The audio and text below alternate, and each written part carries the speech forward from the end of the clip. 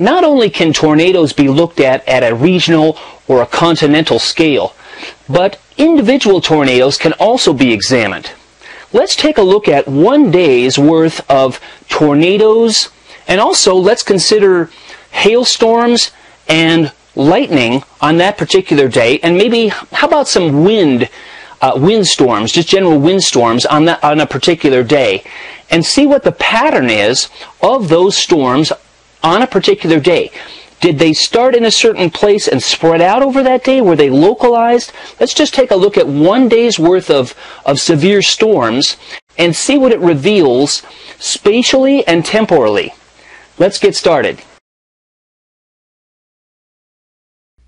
Let's investigate one-day patterns of tornadoes, wind, and hail using ArcGIS in a lesson called Stormy Weather. What you'll do in this lesson is to work with data and maps to understand the spatial and temporal distribution of tornadoes, wind, and hail. This lesson uses ArcGIS Desktop 10 software from Esri. Earlier versions of the software could be used, but the best results will be achieved with ArcGIS 10. This activity can be used at a variety of levels from upper secondary to university level. Questions could be modified depending on the level targeted. Students should be familiar with maps and some basics of physical and cultural geography and some GIS to most effectively use this lesson. This lesson includes 50 questions. Estimated time to complete them is four standard class periods for a total of three to four hours. Or it could be assigned outside of class with an estimated time of completion as one to two hours or possibly three hours. The investigation could be extended to one week of five class periods, allowing for class presentations to be made, or even further with additional tools used or different weather phenomena investigated. Or subset of the questions could be engaged within one or two class periods. These questions and problems can be posed by an instructor in a one-computer classroom with a projector, engaging the students in discussion while using the ArcGIS tools, or in a computer lab setting where students are working on their own computers. In a lab setting, students can work independently or in groups through these problems. The skills involved are as follows. This lesson includes analyzing spatial point and polygon data, symbolizing data, data and file management, selection, sorting, querying data in maps, and tables, working with map projections, creating summary tables, and creating and analyzing data in graphs. These lab sheets are all you need to run the lesson. However, you could easily extend the lesson by investigating additional days of tornadoes, wind, hail, and other events from the NOAA Storm Center, or other data sets depending on the questions you wish to, wish to ask. One resource for this data is, as you can see right here. You could also determine which cities had the most hail, wind, or tornadoes near them on 22 April 2011 or any other day. You could also create a tornado, wind, or hail density and a 3D surface using Spatial Analyst and 3D Analyst respectively. If you extend the lesson, please consider submitting your extension as a lesson on ArcLessons. edcommunity.esri.com. Let's get started. To recap, in this activity, you will 1. examine a predetermined single day of tornado, wind, and hail in the USA using ArcGIS Desktop 10 software. The day we will examine is 22 April 2011. And number 2, download and examine a different day of tornado, wind, and hail data of your own choosing. You will also use spatial statistics to help understand the pattern of the tornadoes, and you will also compare the pattern of your one day of tornadoes to historical tornadoes. Here is the problem. You are a researcher with the Federal Emergency Management Agency, or FEMA. FEMA is asking you to assess recent tornadoes, wind, and hail so that you can understand the extent of recent events and allocate necessary resources for emergency mitigation. Included in your assessment will be an analysis of the tornadoes, wind, and hail for one day, and compare it to historical tornado touchdowns. You will also download and analyze tornado, wind, and hail for a different day of your own choosing. Let's open up our map inside ArcGIS Desktop. Let's just make the tornado touchdown layer av available and visible. These tornadoes occurred on 22 April 2011. and here is the pattern of the tornadoes. Describe that spatial pattern of tornadoes. How many tornadoes, according to this data set, occurred on this day? So let's take a look at the attribute table. We've got 26 tornadoes listed on that day. Which state saw the most tornadoes on this day? You'll need to create a summary table to answer that question. It's quite simple to summarize any table of data in a GIS. Let's say we want to summarize on state name so that we can determine what state saw the most tornadoes on this day. First, open the attribute table. Make sure I don't have anything selected. So I'm going to clear the selection. Then click on this field that you want summarized, in this case state. Select summarize and give it a home. Where do you want it to be placed? I want it to be placed in the same data set and I'm going to call it Summary Tornadoes. Excellent. Done. Open my summary table. Got one in Kentucky, three in Arkansas, it looks like, three in Illinois, six in Oklahoma, and 13 in Missouri. This summary shows me then that Missouri saw the most tornadoes. Now you can repeat that process for windstorms and hailstorms. Name at least two reasons why windstorms are destructive. Let's take a look at the wind data. Do you think that windstorms are more common or less common than tornadoes? Why? Name at least two reasons why windstorms are destructive. Do you think this data includes all windstorms on this day or just the major ones? Why? Describe the spatial pattern of major windstorms on this day, 22 April 2011. Name at least one aspect of the wind pattern on 22 April that is similar to the tornadoes, and one aspect that is different. How many wind events, according to this data set, occurred on this day? Are there more wind events than tornadoes on this day? Does this confirm or deny your statement above about the frequency of tornadoes versus wind? For wind, select the state field and summarize, saving your summary table in your working folder. Open your summary table. Which state saw the most wind events on this day? Alright, turning our attention to hail now which are hailstorms, these white stones here. Let's go ahead and turn off the wind. So here's our hailstorms. Do you think that hailstorms are more common or less common than tornadoes? Why? Name at least two reasons why hailstorms are destructive. Describe the spatial pattern of hail on this day in April 2011. Name at least one aspect of the hail pattern that is different from the wind. Name at least one aspect of the hail pattern that is similar to wind. And what about similar or different from the tornadoes? How many hail events occurred on this day? Are there more hail events than tornadoes on this day? Does this confirm or deny your statement above about the frequency of tornadoes versus hail? For hail, select the state field and summarize, just as you did before, saving your summary table in your working folder. Which state saw the most hail events on this day? Alright, so which was most common? Tornadoes, wind, or hail on 22 April 2011. Do you think that the frequency, as we have examined here on this day, is about the same on this day as on other days?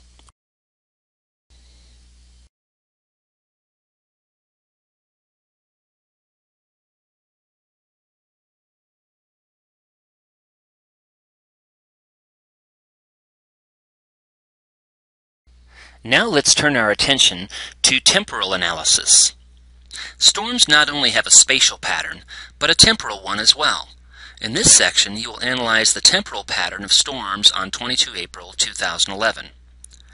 Sort the tornadoes attribute table on the Object ID field. Highlight the first few records in the table. And move the table so that you can see the map.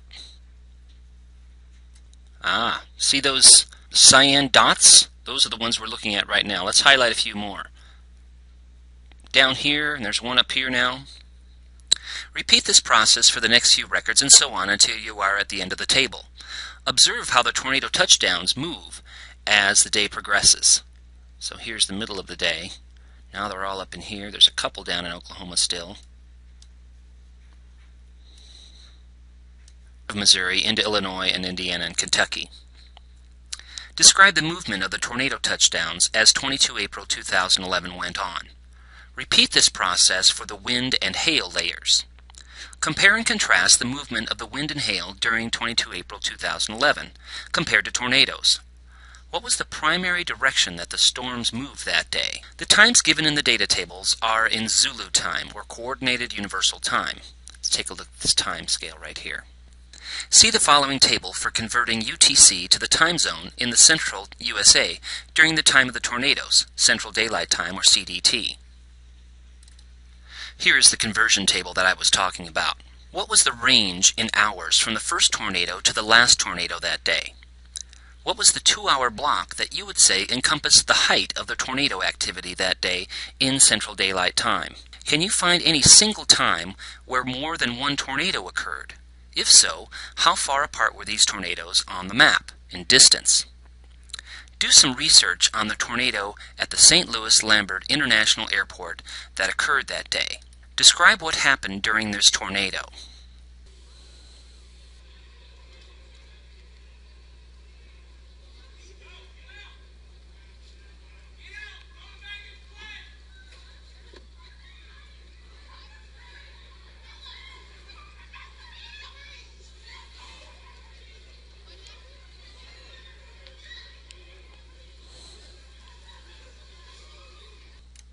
Here is the tornado that we're examining right now.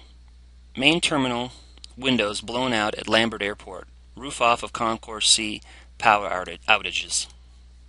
That's this one right here. Describe what happened during this tornado. Name some problems that could arise if a tornado happened at an airport, as it did here. Look at your data in your GIS. What time of day is indicated in CDT for the tornado? What was the latitude and longitude of the tornado? Describe the location of this tornado in relation to, the pattern of the other tornadoes that day. And as you can see, there are others in that area. Describe any wind and hail events. Here's hail. Here's wind events that occurred near the location of this tornado that day. And resave your map document. Let's change our analysis now and examine some cities. Use the Measure tool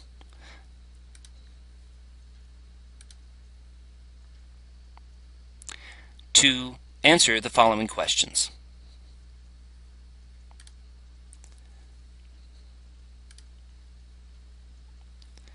How far was the center city of St. Louis from the airport tornado? What major highways was the St. Louis airport tornado near? How far from the closest other tornado on this day was the airport tornado? What other major cities were there tornadoes near to on April 22, 2011? And you could examine the other ones that are close to cities on that particular day in April. So what we've done is we've analyzed tornadoes spatially and temporally We've looked at the relationship between cities and tornadoes. We've also examined one particular tornado that caused damage at the St. Louis airport.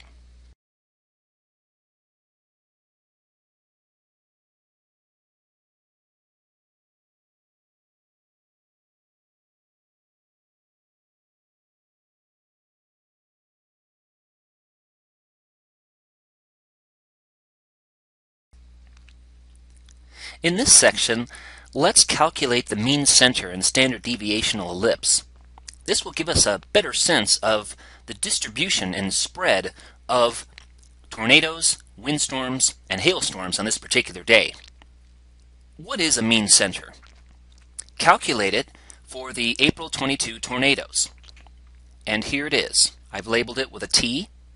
The mean center, or the point at which the tornadoes would balance on, is right here.